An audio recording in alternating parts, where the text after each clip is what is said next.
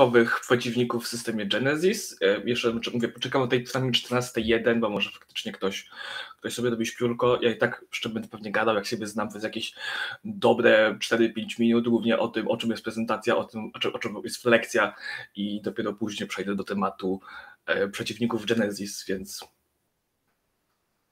więc cześć wam wszystkim, od tego zacznę. Hej. Ktoś z was w ogóle już grał w Genesis, tak z ciekawości, czy jakby, nie wiem, to jest mało, więc jakby spokojnie mogę być bardziej personalny tutaj.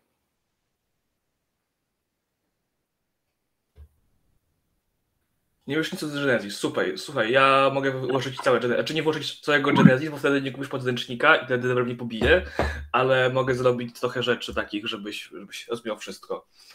Ja sobie trochę żałuję, że nie mam y, pierwszego slajdu, który mówi o, o, tym, o czym jest Genesis, ale trudno, y, będę się bawił bez tego, jakoś sobie damy radę. No i ja prowadziłem Genesis, na razie dwie sesje i robię to w realiach Warhammera wraz z hakiem The Old World od Szymona Malabie. Znam ten hak, fajny jest, fajny jest. Czego nie prowadziłem, bo troszeczkę uważam, że moi gracze by mnie zabili Warhammera, bo nic o nim nie wiem, ale fajny jest, to go, bo go widziałem, a tam bardzo wiele, szczególnie jakby ta mechanika tego, troszkę tą magię zmienili, jest tam fajnie zrobiona. No akurat mamy czarodzieja w zespole, więc testuję to. No a czwarta edycja Warhammera swoją ciężkością i jakby obłożeniem zasadami zabiła e, całą frajdę z gry, więc dlatego przerzuciliśmy się na Genesisa i na razie jest bardzo, bardzo fajnie. Powiem tak, o czwartej edycji się nie powiem, bo się nie, nie znam, ale to faktycznie Maciej zauważa, że powinienem się tutaj powiedzieć, kim jestem, więc hej, ja jestem Łukasz Hans Murzyński, um, prowadzę RPG od pięciu lat, może od sześciu, już nawet nie wiem, nie liczę tego. Um, jestem młodym filmoznawcą, który bardzo jakby skupia się na tym aspekcie filmowym i dlatego też lubię Genesis, bo pomaga mi bardzo narracyjnie prowadzić i Genesis właśnie prowadzę, no powiedzmy, że połowę tego, co prowadzę w ogóle, czyli już będą te trzy latka minimum, kiedy były te moje pierwsze do tego strony podrygi. Um, jakby ja obecnie jestem wyłącznie w organizacji Cierniogon e, w Trójmieście, które zajmuje się organizowaniem eventów. W zasadzie tyle. Um, no i robię dla Debela właśnie dzisiaj tą, znaczy troszeczkę z pomocą Debela robię tą e, więc mam, ten, mam piękną podstawkę tej prezentacji, ja sobie bardzo im dziękuję.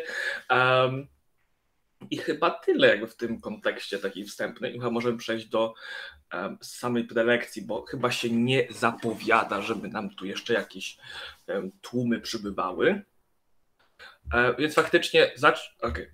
Może faktycznie zacznę od tego, czym jest Genesis, zanim przejdę w ogóle tam dalej, bo mam kogoś, kto chętnie dowie się Genesis, ale o nim nic nie wie, więc to jest system narracyjny, który polega głównie na tym, że jest, jego główną cechą jest to, że jest systemem uniwersalnym, że jesteś w stanie prowadzić na nim wszystko, no, optymalnie raczej fantazy i, i sesje o przygodzie, ale zasadniczo haki na science fiction, właśnie na Warhammera, na Gwiezdne Wojny, gdzie są w sumie oficjalne jakby wydany podsystem, z którego ja się głównie wywodzę, w którym głównie prowadziłem, ale na przykład ja obecnie prowadzę sesje horrorowe, sesje e, gry o tron czy polityczne i ten system się na tym bardzo dobrze, ten system się bardzo dobrze przykłada na wiele różnych klimatów, na wiele różnych settingów.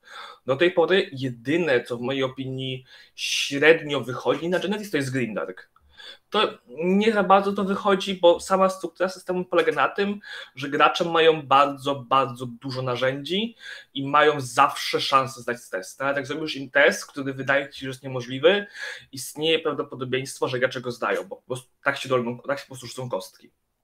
I właśnie Genesis, niestety nie mam tej grafiki, to jest tylko żałuję, że tego nie zrobiłem. Genesis polega na tym, że masz ich własne kostki. To jest sześć kości normalnie lub siedem kości przy Gwiezdnych Wojnach.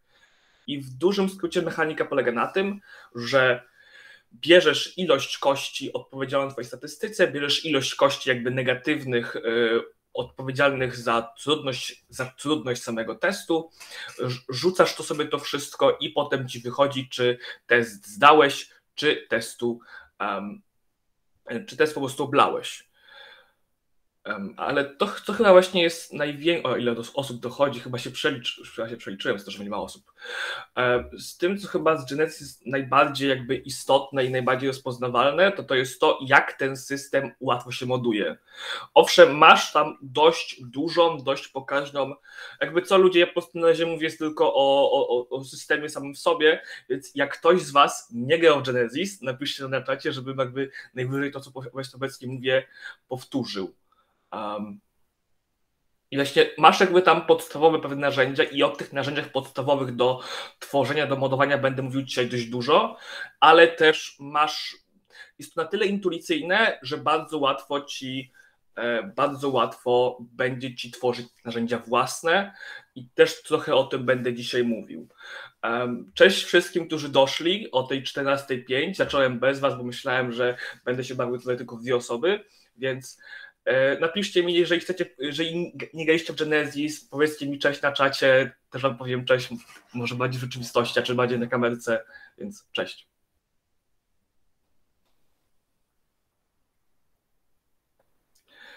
Hans dobrych rzutów, zbieżność ksywek.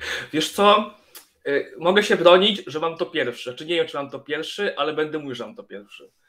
Um, więc wydaje mi się, że póki co mogę przejść dalej e, z prezentacją. Dobra, e, czy zacznę od takich bardzo podstawowych rzeczy, czyli jak sobie po prostu te potworki, te naszych, naszych przeciwników zapisywać. Bo to się wydaje taką super prostą kwestią, taką tak, ja też właśnie grałem dużo w Star Wars od FFG, o tym będzie się dużo referencji. Ale mówiąc jakby o samym zapisywaniu notatek, to jest to bardzo ważna część, w mojej opinii, prowadzenia, szczególnie prowadzenia online, gdzie bardzo jest widać, jeżeli mistrz coś wymyśla, jeżeli ma notatki nieczytelne, więc ja bardzo dbam o to, żeby moich przeciwników, moje notatki miał bardzo czyściutkie, bardzo względne. Jeżeli prowadzę dedeki, co robię bardzo często od dwóch lat, to tych generatorów, rzeczy, gdzie mogę to zapisywać jest tak dużo, że jeszcze tak często jakby z, połączonych z Roll20 czy z Foundry, na którym ostatnio się przechodzę, zasadniczo nie ma żadnej trudności i przy innym systemie po prostu to olał, ale przy akurat Genesis tych opcji mamy dość dużo i łatwo jest po prostu się zjechać w akcji. Więc po pierwsze taką opcją jest po prostu zeszyt lub notatnik. Jeżeli jesteście e, jeszcze troszeczkę starej daty albo po prostu lubicie old school i używacie tego papieru, to, dalej jest viable opcja. Przy Genesis jest nawet spoko, bo faktycznie jak sobie zrobisz pattern na wpisywanie statystyk, e, to faktycznie już możesz lecieć z tym e, przez, przez, przez całą kampanię masz Genesis Emporium i jakby ono jest opcją i właśnie Genesis Emporium chyba nie mam tutaj w grafikach na dole, ale Genesis Emporium jest opcją. To jest taka fanowska aplikacja na, na przeglądarkę, na której możesz sobie zrobić kartę postaci, własne, własne moduły użyć gotowych. Tylko Genesis Emporium ma tą wadę, że nie jesteś w stanie sobie podzielić tego na settingi, co jest dużym problemem. Tak przy robieniu większej ilości rzeczy. I po drugie, Genesis Emporium ma ten problem, że jest głównie skierowany do, do graczy. Czyli jako mistrz gry olewasz to wszystkie rzeczy jak, no nie wiem, jak wypisanie wszystkich skilli, albo wypisanie osobowości, wyglądu NPC, bo po co ci to, jak masz zrobić tych NPC-ów 30, jak zazwyczaj ja mam, więc to jest Emporium. Dalej jest Google Drive lub inne formy notatek i właśnie ten środkowy, gdzie widzicie e, Guardiana bodajże z, z, z Invincible, to właśnie to jest taka moja forma, gdzie jakby ja sobie po prostu w prezentacjach Google robię sobie notatki i jeżeli sobie zrobicie pattern, po prostu robicie kopiuj, kopiuj, kopiuj jakby slajd i zmieniacie cyferki. I uwierzcie mi, na kampaniach fabularnych, po prostu mam po prostu 6-7 takich ważnych, to te drive ratują mi życie. E, mam takie jeszcze zrobione zrobiony i faktycznie mówię wam, że to bardzo praszcza rzeczy. Drugą rzeczą, taką fajnym programem jest OgDude Character Generator i jest to narzędzie najlepsze z nich, tylko ma jeden problem, ono jest stworzone per se do Gwiezdnych Wojen, ponieważ twórcy Genesis jednocześnie wydali e, we współpracy bodajże z LucasArts, a potem z Disneyem trzy systemy, czyli Age of the Empire, Age of the Rebellion i Forces and Destiny, witam nowych, chyba jeszcze ich nie ma. Czyli jakby systemy gwiezdnowojenne, które działają na mechanice Genesis. I Ogdude, czyli jakiś pan w internecie, stworzył generator, który jest tak piękny, jest tak prosty, jest tak intuicyjny. Faktycznie tych NPC-ów robisz w 5 minut, nie? Każde postaci graczy również w 5 minut. Więc jakby, jeżeli dopiero zaczynacie swoją historię z Genesis, to Ogdude jest najlepszy, bo się nauczycie wszystkiego. Do tego stopnia, że znam mistrzów gry, którzy nie potrafią prowadzić Genesis bez Ogdude'a, bo po prostu jest tak intuicyjny ale no jest po pierwsze do Gwiezdnych Wojen stworzony, czyli jakby cała IP, na przykład, nie wiem, Elfa musisz sobie sam tam już zrobić, na przykład rasę. I po drugie, takim dużym problemem Ogduda jest to, że talenty raczej mają odnośniki do stron w podręcznikach, aniżeli jest ich opis. Czyli na przykład, że masz talent Vicious, to zamiast mieć jego opis, to masz po prostu stronę. I to też jest problematyczne, jak jeszcze nie wiesz, jaki talent zrobi co. I tą trzecią opcją jest Roll20 Foundry, to chyba oczywiste i właśnie po lewej na dole właśnie, a po prawej jak macie to Yeti, to właśnie to jest wynik wygenerowanej, wygenerowanej karty NPC z, z Ogduda. Wygląda to bardzo ładnie, czytelnie i jest bardzo praktyczne. I po lewej właśnie macie Roll20 Foundry. Roll20 jakby nie obsługuje mechaniki Genesis, bo te abstrakcyjne, śmieszne kostki są zbyt trudne dla, dla Roll20 do gadnięcia, ale Foundry już to wszystko obcykało, bo ludzie w internecie są po prostu cudowni. E, więc jest to fajna opcja do zapisywania i zanim odkryłem prezentację Google'a, to moje PC często po prostu były na Roll20, jak prowadziłem w realu i po prostu sobie to studowałem, więc to też jest viable opcja, a uwierzcie mi, będziecie mieli zapisywać. Um, dobrze, więc może przejdźmy w końcu jakby do tego, czy ja dalej mam taką lepszy, lepszy slajd? Okay.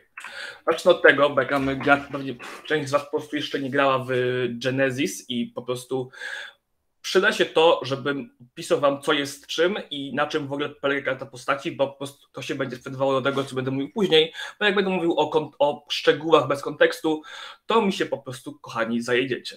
Dobrze, więc mamy cechy i umiejętności, to chyba oczywiste, krzepa, zwinność, intelekt cechy, umiejętności to są niżej i jakby umiejętności jako mistrzowie gry dobieracie do swojego settingu. Czyli na przykład, jeżeli gracie w współczesności, to dodajcie komputery, jak gracie w fantazy, dodajecie magię i tak dalej, i tak dalej. Ten wybór skill to jest tylko wasza, tylko wasza i wyłącznie wasza e, broszka. Nic wam nie stoi na przeszkodzie też wymyśleć własne skille. Po drugie, macie rany i zmęczenie, i to jest jakby HP i hmm, psychiczne HP waszej postaci. I to jest zabawne w Genesis, jakby, bo zazwyczaj powiedzmy w dedekach mamy tych HP 30 i każdy kolejny damage nam odejmuje od tej 30. To w Genesis na odwrót startujemy z zeroma ranami, mamy na przykład tam próg ran 14 i każde obrażenie to jakby jest plus do tych ran. I kiedy przekroczymy, czy mamy 14 ran, będziemy mieli ranę 15, to nasza postać jest nieprzytomna. Istotna anotacja, e, postaci w Genesis, gracza oczywiście, nie da się zabić zbijając jej, post, jej punkt do, jakby do maksimum. Czyli jeżeli gracz ma 15 HP, znaczy ma, ma 15 jakby ran na ten próg 14, to on po prostu jest nieprzytomny. Znaczy, oczywiście on rzuci sobie trafienie krytyczne, które może go zabić, ale samo jakby stracenie HP nie powoduje tego, że postać umiera. To samo działa ze zmęczeniem, tylko że po zmęczeniu nie macie rzutów krytycznych. Obrona to jest to, jak ciężko jest waszą postać trafić, e, czyli po prostu próg trudności, który narzucacie atakującemu, umiejętności, Okej, okay, tu mam błąd, nieważne. E, umiejętności to masz talenty, czyli specjalne. Nie. Nieważne, nie mam pojęcia, co miałem na myśli, więc olejmy ten, ten, ten, ten, ten, fragment.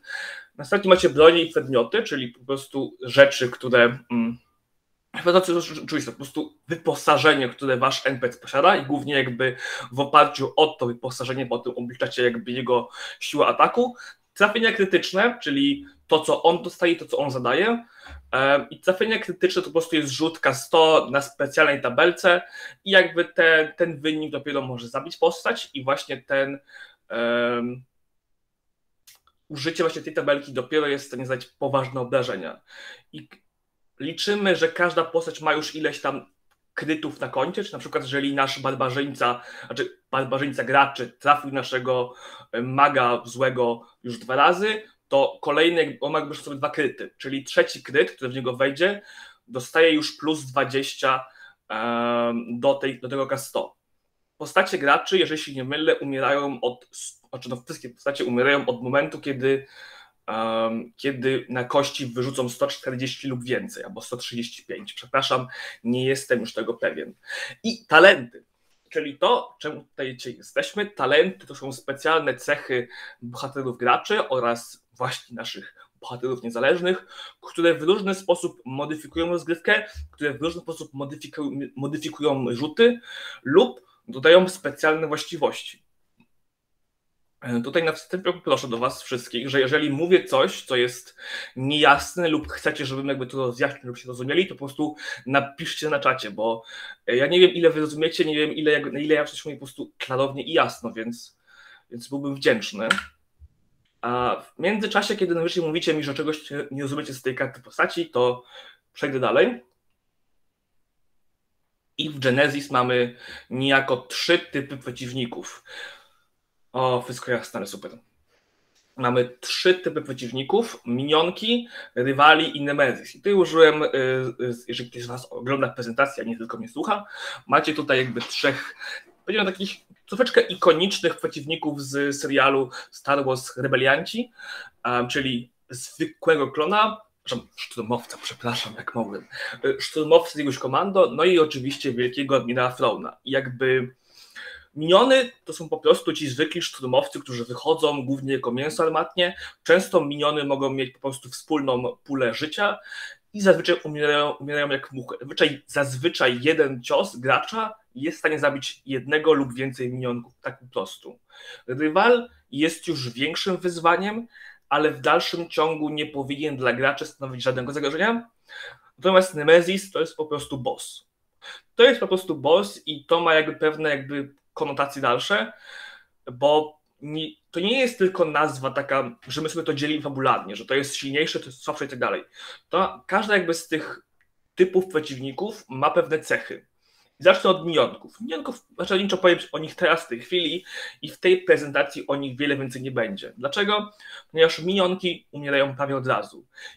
Jeżeli każda inna postać, w tym właśnie NPC, rzucają na tabletkę krytyczną, to sam fakt tego, że miniona wszedł kryt, powoduje, że minion nie żyje. Um, do tego możecie zrobić bardzo fajny patent, czyli że miniony mają wspólne punkty życia. Polega to na tym, że przeciętny szturmowiec ma tam bodajże 5 punktów życia, jeżeli się nie mylę, zaś um, przeciętny atak jest w stanie zadać powiedzmy od mniej więcej 6 do nawet 14-15, chyba że macie faktycznie jakiś tam strasznie mocnych graczy. I te minionki, jeżeli rzucamy, jeżeli rzucamy tych minionków około 10, około 15, około 8, około 9, to oni zamiast każdy z nich ma 5 życia, oni łącznie mają tych życia 40 lub 45. I kiedy gracze jakby rzucą na tą wspólną pulę tych obrażeń 12-13, to zabiją po prostu dwa minionki i jeden, jeden dodatkowy pada. I oni wtedy zamiast mieć 9 ataków, mają atak 1 i po prostu go sobie wzajemnie ulepszają. Do tego też wchodzi jakby statystyka Sołka, która po polsku nazywa się, przepraszam bardzo, redukcji. Redukcja to jest jakby taki podstawowy, mm, podstawowa cecha każdego, każdej jakby postaci w Genesis, czyli od obrażeń, które otrzymuje postać, odejmuje się redukcję. No chyba, że zasady mówią inaczej, bo są takie wyjątki. Więc zasadniczo, jeżeli w, tych, w tą grupę dziewięciu minionków wchodzi te 12 obrażeń, a szturmowiec ma bodajże tego sołka 2 albo 3, to te obrażenia zmniejszamy o 6, bo weszłoby dwa minionki i wtedy umierają, umiera jeden albo dwa. Przepraszam, matematyka to nie jest moje, moja silna strona, podobnie jak robienie prezentacji, więc bardzo was to przepraszam. E, drugi w kolejności są, drudzy w kolejności są rywale. Rywale zazwyczaj posiadają jeden talent, albo nie posiadają ich w ogóle. Znaczy, możecie zrobić rywala, który ma tych talentów pięć, ale nie jest to specjalnie.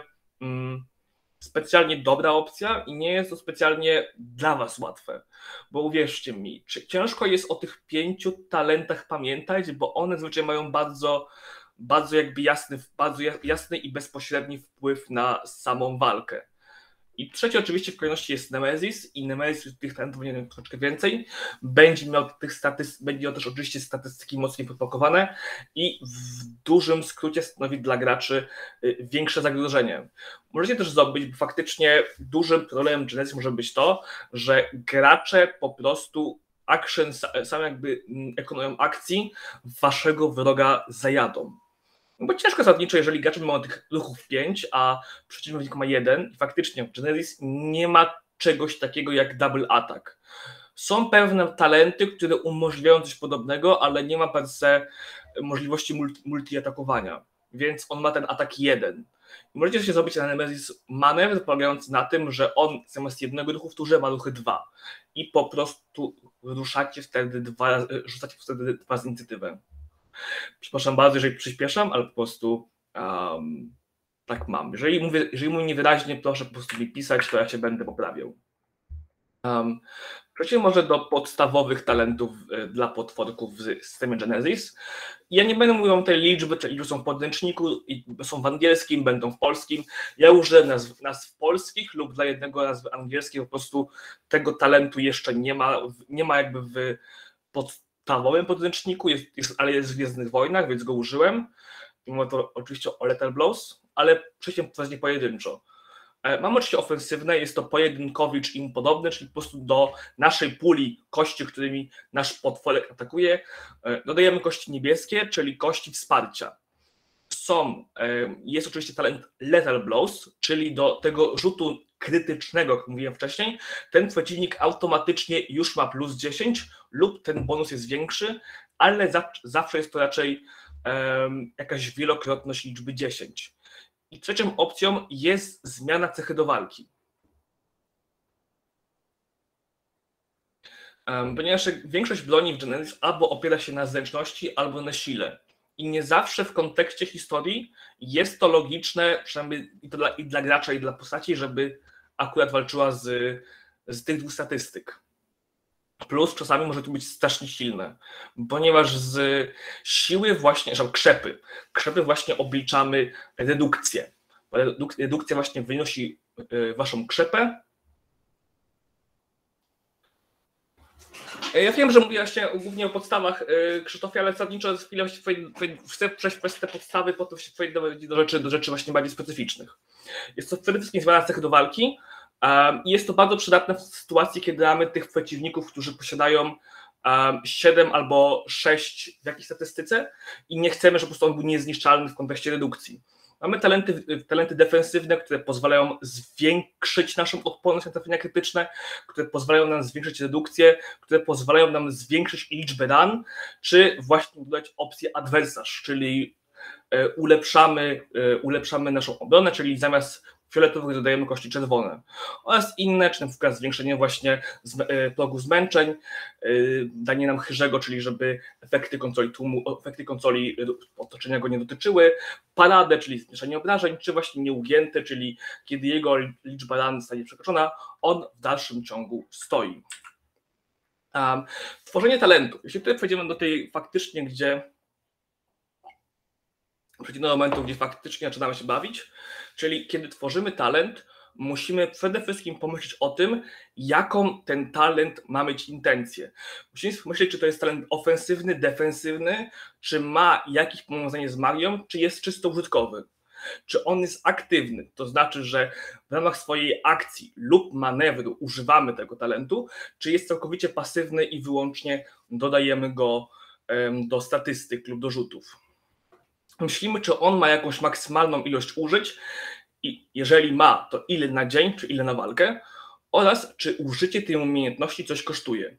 I jeszcze raz powtórzę, że tych talentów możemy faktycznie dać przeciwnikowi nawet 10, ale gwarantuję, o nich zapomnimy. A, klikam źle.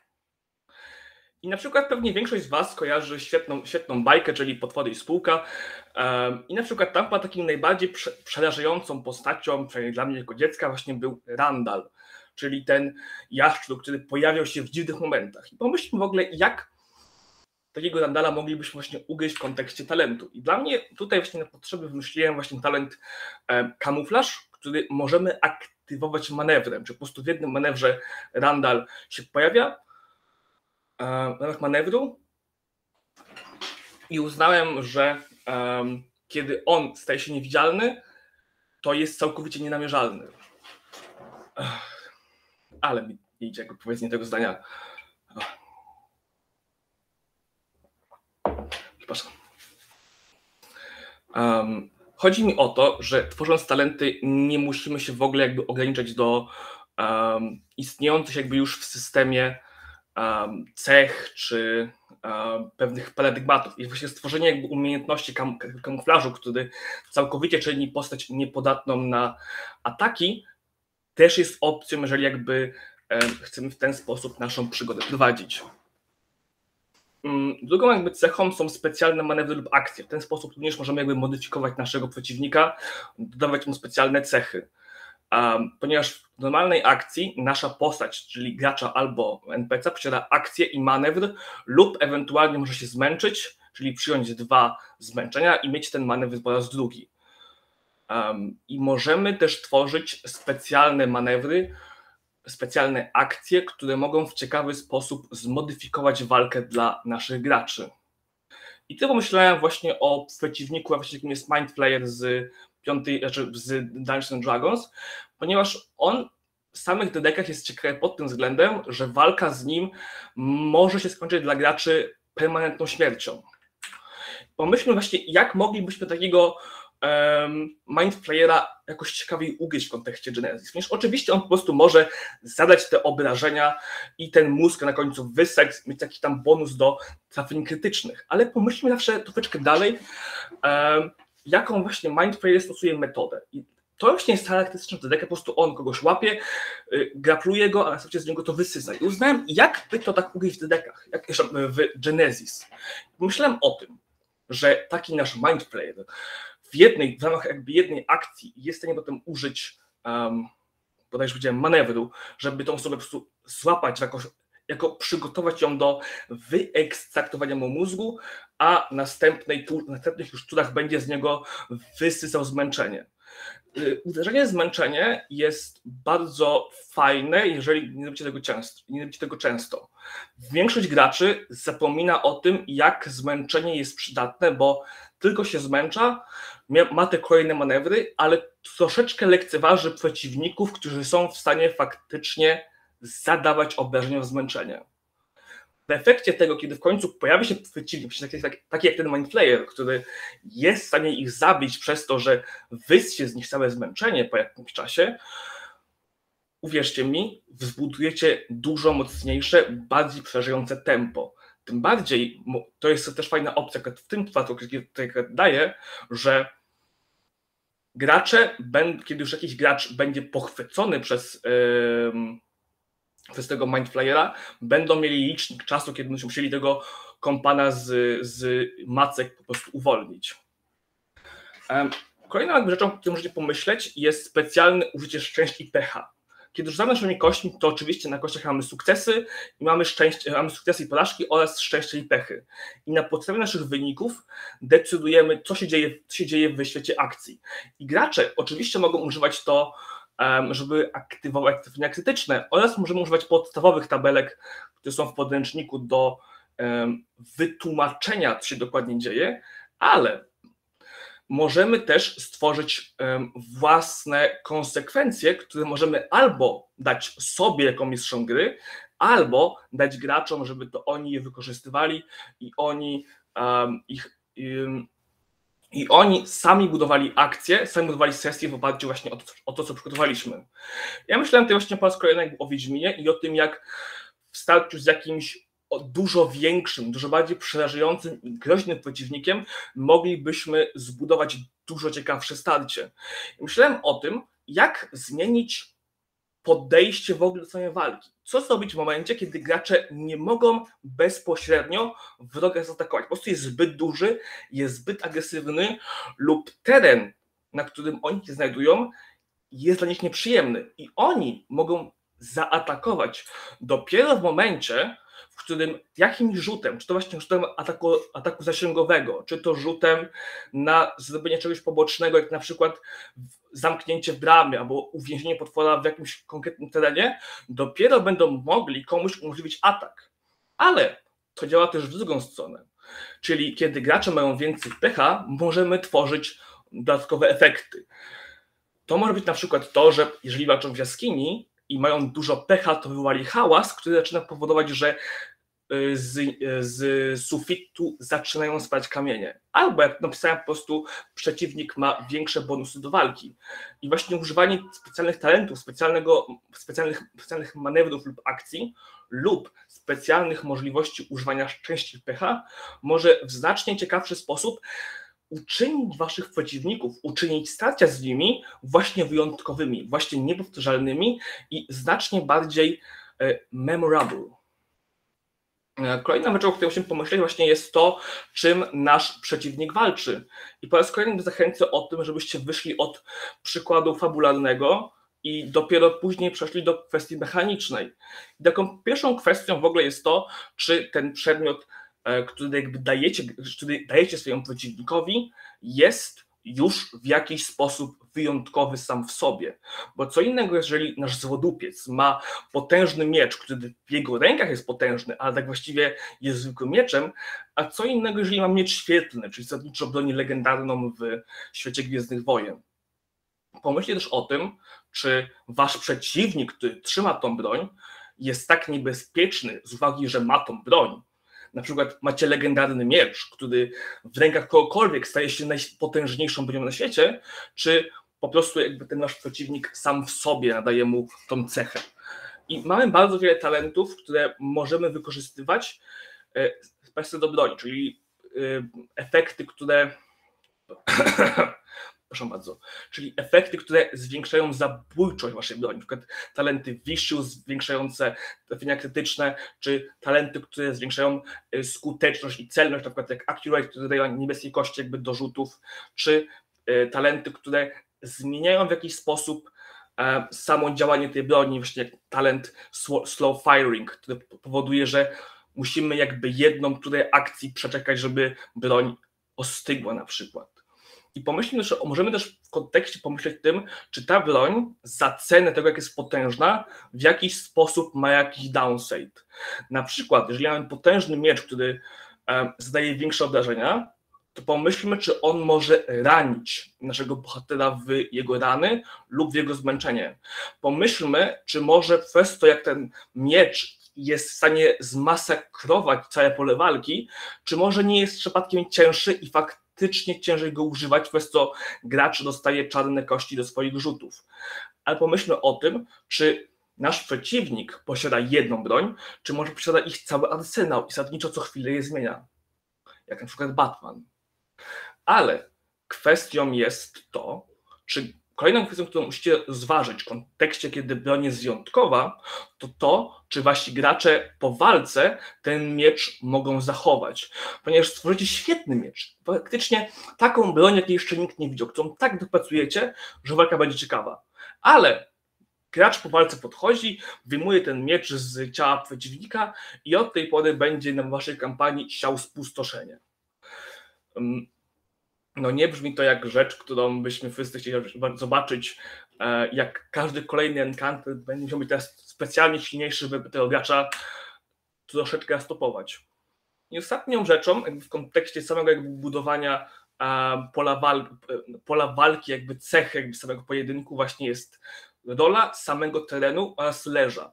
Pomyślmy o tym, w jaki sposób otoczenie, w jakim walczą nasi gracze, wpływa na samą walkę, na decyzje, jakie mogą podejmować oraz na sam kształt, czy faktycznie walczą pod wodą, czy walczą w powietrzu, czy posiadają jakąś formę wsparcia, który im pomaga, czy jest to teren, który ich spowalnia, czy jest to teren, który sprzyja strzelaniu, czy jest może dużo drzew, które co jakiś czas utrudniają e, czarnymi kośćmi strzelanie. Oraz, co najważniejsze, czy nasz złodupiec, czy nasz antagonista, którego staramy się zbudować, jest w stanie wykorzystać te cechy leża terenu na swoją korzyść. Na przykład może znać mnóstwo jakichś tajnych, sekre, sekretnych przejść, którymi w prosty sposób przechadza się z jednego miejsca pola walki na drugie miejsce pola walki. Czy może posiada tam jakiś sprzęt, na przykład jest to laboratorium szalonego naukowca, dzięki któremu pojawiają się mini-bossy, albo pojawiają się um, albo pojawiają się um, jakieś działka, czy tereny, czy jakby specjalne miejsca na mapie, które utrudniają poruszanie się. Um, więc teraz przejdźmy może od tego, jak bardzo wprost, jak, jak w prosty sposób od początku do końca um, zbudować tego naszego przeciwnika. Polecam, choć nie jest to warunek, zacząć od fabularnej podstawy, a dopiero w drugim kroku przejść do mechanicznego, um, mechanicznego uchwycenia tego, czym postać faktycznie ma być i czym będzie. Um, pomyślmy o tym, to może być cokolwiek, to może faktycznie być po prostu zripowane z serialu lub gry, to może być faktycznie jakiś nasz pomysł na to, że ma płonący miecz, który, którym dopiero będziemy e, walczyć, ale jestem pewien, że wszyscy wy to już wiecie, bo jesteście tymi mistrzami gry lub będziecie nimi, ale przy budowaniu przeciwnika możecie też pomyśleć o tym, na czym mu zależy. Czy ma może na jakąś dobrą stronę, czy jest jakiś konkretny sposób, w jaki on realizuje swoją krucjatę zła. I na przykład ten sposób możemy e, ten jakby ten sposób jego realizowania walki, jego planu, możemy w jakiś sposób umieścić w jego cechach, żebyśmy faktycznie mieli tą koherentność fabularną i mechaniczną. Czyli na przykład, jeżeli prowadzimy Puppet Mastera, to nic jego talenty opierają się na wzmacnianiu swoich słabszych wojsk, żeby, mimo że są teoretycznie słabsze, stały się dla graczy wyzwaniem. Na przykład przez to, że martwi wojownicy wstają do życia. Albo jeżeli jest to bezwzględny barbarzyńca, którego łatwo urazić, to możemy faktycznie stworzyć jego cechy, które pomagają mu jeszcze bardziej w krótkim czasie bardzo dotkliwie bohaterów zranić, albo które w jakiś sposób oddają jego gniew. Na przykład może jest w stanie samym swoim gniewem zarazić graczy, żeby oni atakowali swoich towarzyszy. Więc jest to po prostu rzecz, którą warto, zważyć, którą warto przemyśleć i w jakiś sposób zaimplementować do swojej, do swojej, do swojej sesji. I kolejną rzeczą jest troszeczkę to, żeby pomóc Wam um, opisać, jakie cechy, jakie talenty najlepiej oddają jaki typ postaci. Zacznę od defensywy, ponieważ możemy zrobić taki, powiedziałbym, klasyczny pakiet, czyli że postać, nasz, nasz antagonista ma 26, 28 program, ma powiedzmy tego te 5-6 redukcji i powiedzmy ma do tego na deser um, adwersary 2 lub 3, czyli faktycznie jest to taki standardowy poziom, gdzie mniej więcej każdy antagonista będzie dla gracza jakimś wyzwaniem, nie będzie specjalnie silny i będzie dobrze defensywny we wszystkim. Ale znacznie ciekawiej będzie, jeżeli każdy nasz przeciwnik będzie się czymś różnił i gracze będą musieli podejmować różną taktykę, żeby go pokonać. Jeden przeciwnik będzie strasznie trudny do trafienia, na przykład damy mu adwersary 6 lub 7, czyli gracze będą musieli mieć, będą mieli w swojej puli cztery czerwone kości na przykład. Trafienie takiego przeciwnika jest wyjątkowo trudne, ale kiedy go trafią, faktycznie będą mogli sieć u niego spustoszenie. Co więcej, gracze w swojej taktyce będą musieli pomyśleć bardziej nie o tym, jak walczyć, nie, nie o tym, jak e, zabić czy opisać jakby zabicie przeciwnika, a o tym, jak zwiększyć swoje szanse, żeby jeden z graczy dostał od nich te dwie czy trzy niebieskie kości, żeby faktycznie go trafić. Inną w ogóle taktyką jest tworzenie przeciwnika, który będzie miał bardzo dużo ran bardzo, y, bardzo duży próg ran i bardzo dużo redukcji. Na przykład w kontekście Spidermana takim przeciwnikiem jest Rhino, którego no jak widzimy jakkolwiek jakby film, to Spiderman wali go tyle razy i takimi rzeczami, że matko święta, jak on to wszystko przyjmuje. I faktycznie Rhino nie potrzebuje mieć adwersarza żadnego, ale jego redukcja jest tak duża, że gracze zamiast dać mu tych obrażeń 10 czy 12, zdają jeden lub dwa. I w takim wypadku gracze najczęściej prowadzą taktykę wzięcia przeciwnika na kryty. Czyli będą stać po prostu te, te, te trafienia krytyczne tak długo jakby stakować, łączyć, aż faktycznie nie zaczną krytować plus 60, plus 70. Ale broń Boże, nie znaczy to, że teraz każdy przeciwnik powinien być u Was albo w jedną stronę, albo w drugą stronę przesadzony. Polecam balans i faktycznie stworzenie choćby takich przeciwników jak, jak dla Spidermana, kiedy on i łączy tą ciężką, e, tą ciężko trawialność, ale jednocześnie jest przeciwnikiem wytrzymałym ze względu na, na swój kostium. E, I tak samo w mojej opinii działa to w kontekście ofensywy, kiedy w systemie możemy w bardzo fajny sposób zrównoważyć to, w jaki sposób wasz antagonista y, zadaje obrażenia. I to skupię się tylko, tylko na postaciach Marshall z gry żeby dać wam mniej więcej jakiś przykład. Mamy na przykład tego górę z gry Tron, który po prostu jest absolutnym czołgiem, który wiele wytrzymuje, a jego atak polega na zwykłej, czystej furii. I kiedy on, możemy dać mu po prostu bardzo duże bazowe obrażenia, bardzo dużą, bardzo duży bron, który jeszcze te podstawowe obrażenia zwiększy. Gracze wtedy po prostu będą starali się najczęściej na unikanie przeciwnika lub postawienie tego prawdziwego tanka z przodu, który po prostu zajmie y, górę, kiedy oni będą mogli atakować z boku. Całkowitym jego przeciwieństwem może być właśnie Sirio Forel, który trafi raz, ale kiedy gracze pierwszym ruchu usłyszą, że przeciwnik zadaje im kryta plus 40, czyli już kryta, który potencjalnie może ich zabić, ich panika wzrośnie dwa czy trzy razy. Bo będą wiedzieli, że walczą z przeciwnikiem, który jest w stanie jednym ciosem po prostu wysłać ich, no przynajmniej do kostnicy na jakiś czas, póki go nie zmartwychwstaną, a w niektórych kampaniach permanentnie po prostu się ich pozbędzie. I faktycznie, w przypadku Forela, staraliby się to, żeby żaden z nich nie dostał tego kryta kilka razy, bo już trzecie trafienie daje im około 30%, że faktycznie się z nim pożegnają. Możecie też faktycznie te talenty mieszać i tworzyć przeciwników, którzy z jednej strony są e, skupieni na obrażeniach, ale z drugiej strony ich trafienia krytyczne, czy właśnie sam styl walki również jest w stanie przyciągnąć uwagę. I takim przeciwnikiem byłby e, Lannister z oczywistych względów. Ale po raz kolejny tu przypomnę, żebyście, oczywiście nie, włączyłem prezentacji, e, żebyście nie zapominali, o, żebyście nie popadali w pułapkę tego, że wasi przeciwnicy będą powtarzalni, że w każdym walce używacie jakby tego samego paternu, który wyłącznie minimalnie modyfikujecie, jakby minimalnie modyfikujecie lub faktycznie gracze dość szybko zauważą, że wasi wasi przeciwnicy w walce z czymś innym. Poszukujcie, poszukujcie kreatywności, poszukujcie innych rzeczy. I na przykład stwórzcie przeciwnika, który polega na zupełnie mechanice, którego celem wcale nie jest trafić graczy za tych obrażeń 20, czy znaleźć im trafienie krytyczne, które przyjdzie do grobu.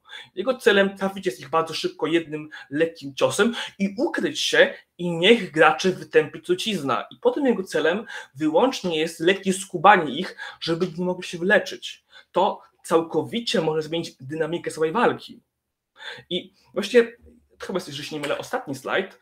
E, chciałbym Was na koniec przede wszystkim poprosić, żebyście, żeby poprosić, nalegać Was, żebyście w swoich sesjach szukali nieszablonowości, żebyście starali się swoje bardzo fajne, bardzo kreatywne pomysły przekuwać na mechanikę w nowy sposób i wykorzystywać właśnie tą część Genesis, która pozwala Wam tworzyć własne talenty, która pozwala Wam je dostosowywać i uczynić walkę przede wszystkim inną, żeby każde starcie, które wasi gracze spotkają na waszej sesji, było inne, było wyjątkowe i przede wszystkim było godne zapamiętania.